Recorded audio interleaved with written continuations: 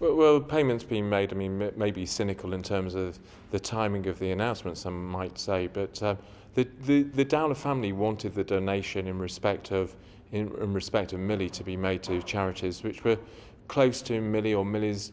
disappearance, so that, for example, half a million pounds goes to effectively children victims of crime to a charity, and others have a, a particular relevance to Milly's life, so to a, a swimming pool, the charitable trust behind the swimming pool would receive £100,000. Uh, Milly's godfather uh, unfortunately died from a brain tumour, and there are cancer, cancer research charities and brain tumour trusts have received £100,000. So all, all the charitable donations are in respect of